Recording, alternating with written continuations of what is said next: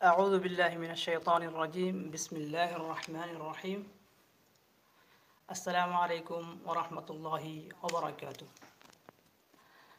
আজকে আমরা কথা বলবো মোহাম্মদ কাসিম ইবনে আব্দুল করিম যিনি তার রহমানি স্বপ্নের মাধ্যমে ভেন্টিং মিডিয়াতে তার ঝড় তুলেছেন ইতিমধ্যে তার রহমানি স্বপ্নের চর্চা পাকিস্তানি অনেকগুলো পত্রিকায় এবং পাকিস্তানি বড় বড় মিডিয়াতে।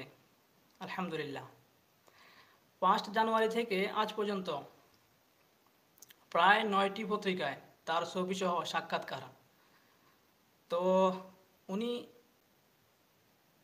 পাকিস্তানি মিডিয়ার সাথে কথা বলার সময়, লোকজনের সাথে কথা বলার সময় সাক্ষাৎকারে কি বলেছেন এবং জাতির কাছে কি বার্তা দিতে চাচ্ছেন, সেই বার্তাগুলো আজকে আমি আপনাকে পড়ে শোনাবো। বিসমিল্লাহ রহমান রহিম আল্লাহ সুবাহান ওয়াতালা মানব জাতিকে অন্য কারও চেয়ে অনেক বেশি ভালোবাসে এবং তিনি ক্ষমতাশীল এবং পরম দয়ালু। তিনি একটি আত্মার উপর যা সে সহ্য করতে পারে না, তার চেয়ে বেশি কিছু চাপিয়ে দেন না। কারণ ন্যায়পরায়ণতা তার একটি গুণাবলী। কাউকে দয়া বা একটি আশীর্বাদ দেন তার রহমত দ্বারা।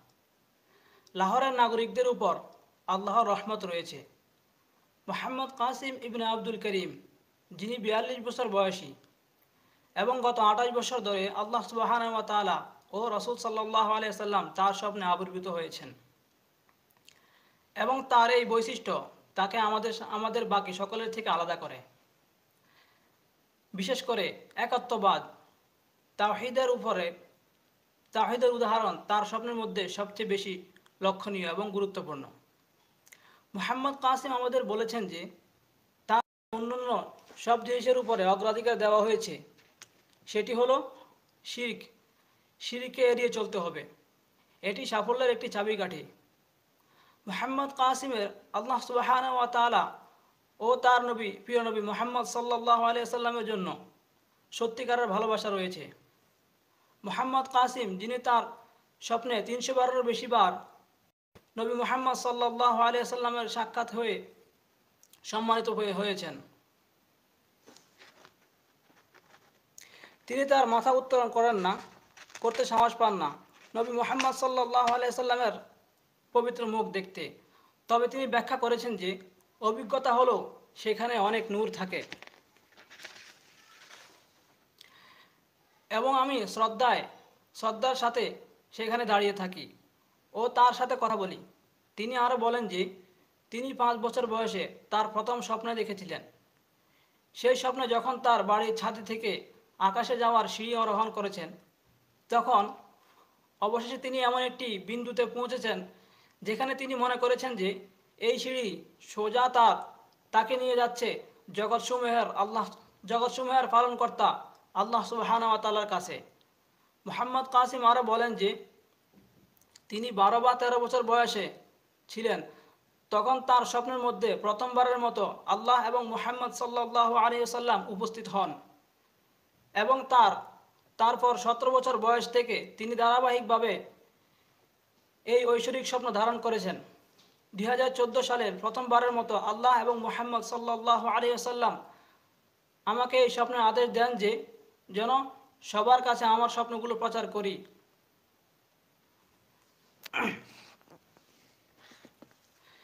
তিনি আরও যোগ করেছেন যে, যখন থেকে তিনি তার স্বপ্নগুলো সকল ইসলামী ইসলামী দেশগুলো ওয়েবসাইটে পাকিস্তানের সরাসরি সরকারি কর্মকর্তা ও সরকারি ওয়েবসাইটগুলোতে এবং পাকিস্তানের সেনাবাহিনী ওয়েবসাইটগুলোতে শেয়ার করেছেন। মোহাম্মদ কাসিম বলেন, তার স্বপ্নের প্রথম চিহ্ন হল, শত্রুরা পাকিস্তানকে ক্ষতিগ্রস্ত করবে এবং বিচ্ছিন্ন করার চেষ্টা করবে। কিন্তু আল্লাহ পাকিস্তানকে রক্ষা করবেন এবং পাকিস্তান ইসলামী বিশ্ব হবে। পাকিস্তান অনেক অগ্রগতি অর্জন করবে এবং এটি একটি উন্নত অত্যন্ত উন্নত দেশ হয়ে উঠবে। এটি উন্নত করবে এবং এমনকি নিজেই সব কিছু তৈরি করবে এবং সুশাসন ও সামাজিক ন্যায় বিচারের এমন ব্যবস্থা গঠন করবে যে যা কেবলমাত্র মুসলমানরা নয়, এমনকি অমুসলিম দেশের লোকেরাও সারা বিশ্ব থেকে পাকিস্তানে এসে বসবাস করা শুরু করবে। ইসলামের পুনরুত্থান পাকিস্তান ও তার সেনাবাহিনীরা প্রধান ভূমিকা পালন করবে। তার কথোপকথনের সময় পাক ভারত উত্তেজনাকে সবার দৃষ্টিগোচর করার জন্য মোহাম্মদ কাসিম বিশ মার্চ দুই হাজার সতেরো সালের স্বপ্নের মধ্যে তিনি পাকিস্তানের সেনাবাহিনীকে পক্ষাঘাত করার করার জন্য একটি ভারতীয় ষড়যন্ত্র দেখেছিলেন।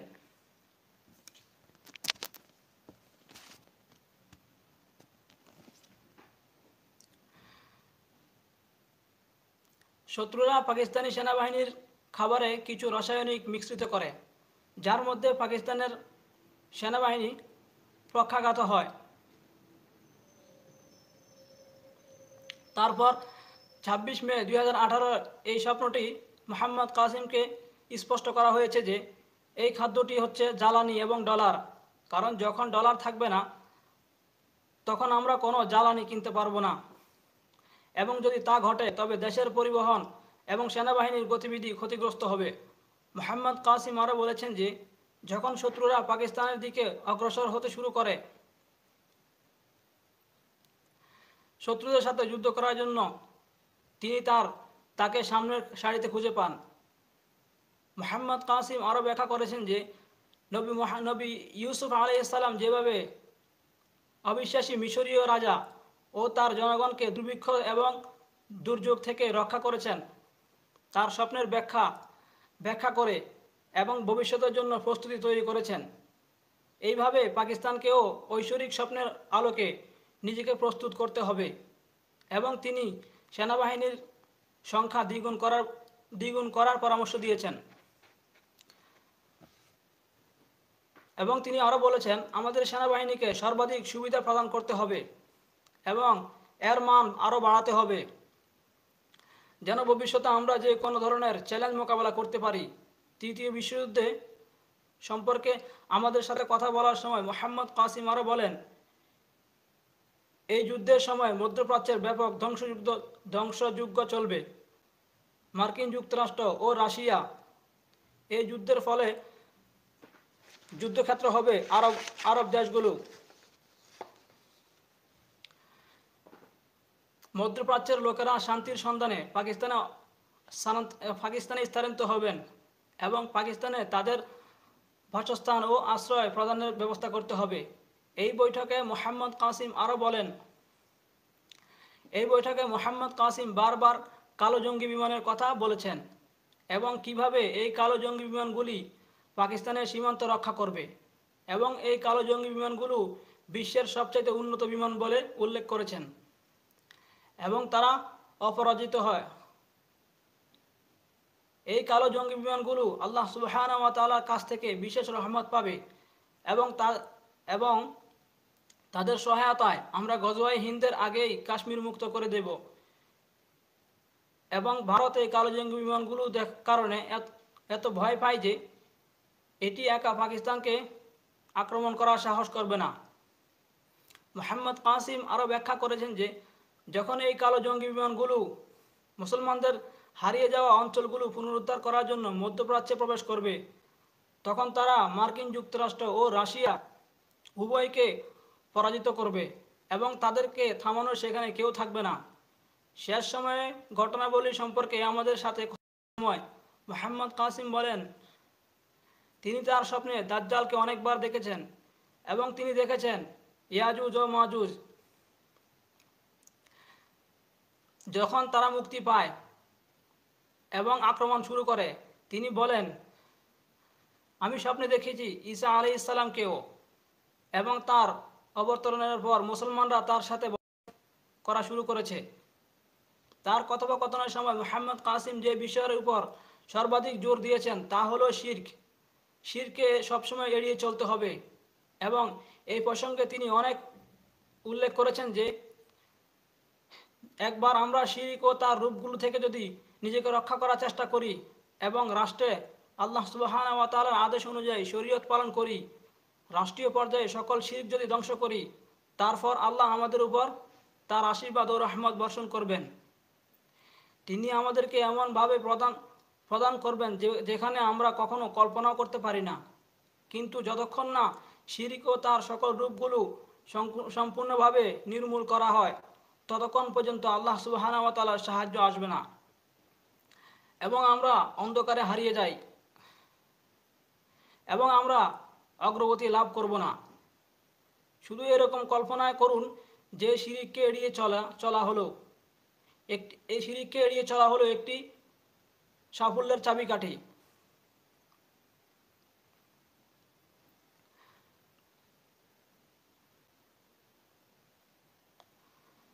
একসময় আমরা রাষ্ট্রীয় পর্যায়ে শিরিক বিলুপ্ত করি। যদি একসময় আমরা রাষ্ট্রীয় পর্যায়ে শিরিক বিলুপ্ত করি এবং বিজ্ঞান ও প্রযুক্তির ক্ষেত্রে পাকিস্তান বিশ্বের বাকি অংশ অংশকে অতিক্রম করবে এবং একটি বাস্তব কল্যাণ রাষ্ট্রে পরিণত হবে এবং বিশ্ব পাকিস বিশ্বে পাকিস্তানকে অগ্রগতি ও সমৃদ্ধির উদাহরণ দেবে। মোহাম্মদ কাসিম ব্যাখ্যা করেছেন যে, শিরিক এড়িয়ে চলার জন্য তিনি বলেছেন, বেশি চাপ দেওয়ার কারণটি হলো এই কারণে যে, সকল নবীর, নবী রাসুলদের মধ্যে আল্লাহ প্রেরিত সর্বপ্রথম বার্তাটি হলো, শিরকে এড়িয়ে চলা। তাও তাওহিদ তাওহিদের উপর দৃঢ় থাকা এবং শেষ ও চূড়ান্ত নবী মোহাম্মদ সাল্লাহ আলী আসাল্লাম লোকদেরকে তাওহিদের দিকে আমন্ত্রণ জানিয়েছেন এবং তাদেরকে শিরক ধ্বংস করতে বলেছেন এবং তারপর সফল সমাজ প্রতিষ্ঠা করেছিলেন মোহাম্মদ সাল্লাহ আলিয়াল্লাম মোহাম্মদ সাল্লাহ আলিয়াল্লামের একজন ছোট উম্মত হিসাবে আমাদেরও তার সুন্নাহ অনুসরণ করতে হবে এবং এটি সফল ও কল্যাণমূলক কাজের প্রতিষ্ঠা করতে হবে, সমাজ প্রতিষ্ঠা করতে হবে। রাষ্ট্রীয় পর্যায়ে সকল শিরিক, রাষ্ট্রীয় পর্যায়ে সকল শিরিক অপসারণ করতে হবে। মোহাম্মদ কাসিম তার হৃদয়ের গভীর থেকে উম্মতকে যে বার্তা দিয়েছেন, যদি তারা সফল হতে চায়, তবে তারা আল্লাহ সুবাহানা তালার সাথে কোনো অংশীদার, অংশীদারিত্ব করবে না। এবং সবসময় সুবহান আল্লাহ বিহামদিহি সুবহান আল্লাহ আদিম জিকিরের মধ্যে আল্লাহ সুবাহানা তালাকে আল্লাহ সুবাহানা তালার মহিমা বর্ণনা করুন এবং মোহাম্মদ সাল্লাহ আলিয়াল্লামের উপর সবসময় দুরুদ পাঠ করুন। তার কথোপকথনের সময় তিনি আরও বলেন যে, যখন তার স্বপ্নগুলো খবর শীর্ষস্থানীয় নেত্রী নেত্রী মোহাম্মদ কাসিম আরও বলেন যখন তার স্বপ্নগুলোর খবর শীর্ষস্থানীয় পাকিস্তানের প্রধানমন্ত্রী ও সেনাবাহিনীদের প্রধান সেনাবাহিনীর প্রধানের কাছে পৌঁছায়, তখন নবী মোহাম্মদ সাল্লাহ আলিয়াল্লাম স্বপ্নের মাধ্যমে তাদেরকে সাক্ষ্য প্রদান করেন যে, কাসিমের স্বপ্নগুলো সত্য এবং আল্লাহ সুবাহানার পক্ষ থেকে এবং এই ঘটনাগুলো ঘটবে যা মোহাম্মদ কাসিমকে দেখানো হচ্ছে এবং তার আল্লাহ তালার সাহায্য পাকিস্তানে আসে। তো আমরা মোহাম্মদ কাসিম ইবনে আব্দুল করিমের সাক্ষাৎকার শুনলাম। তো আমাদেরকে যদি সাহায্য পেতে হয় আল্লাহ সুবাহান তালার এই বার্তায় যে আমরা শিরিক থেকে দূরে থাকতে হবে। শিরিক এমন এক জিনিস যেটাকে, যেটা আমাদেরকে ধ্বংস করে দেয়। আমাদের আখরাত আমাদের দুনিয়া আখরাত ধ্বংস করে দেয়। তো যদি কেউ সফল হতে চায়, তার প্রথম করণীয় হলো সে শিরিক থেকে দূরে থাকবে। তো আল্লাহ সুবাহানা তাল্লাহার সাহায্য পেতে হলে অবশ্যই শিরিক থেকে দূরে থাকতে হবে। আমরা মুসলিম হিসাবে আমাদের দুনিয়া আখরাত বাঁচানোর জন্য অবশ্যই আমাদের শিরিকগুলো জানতে হবে, শিরিক থেকে দূরে থাকতে হবে। আল্লাহ সুবাহানা তালা আমাদের সকলকে শিরিক থেকে বাঁচার তৌফিক দান করুক। আমিন। আজকের মতো এখানেই বিদায়। আসসালামু আলাইকুম।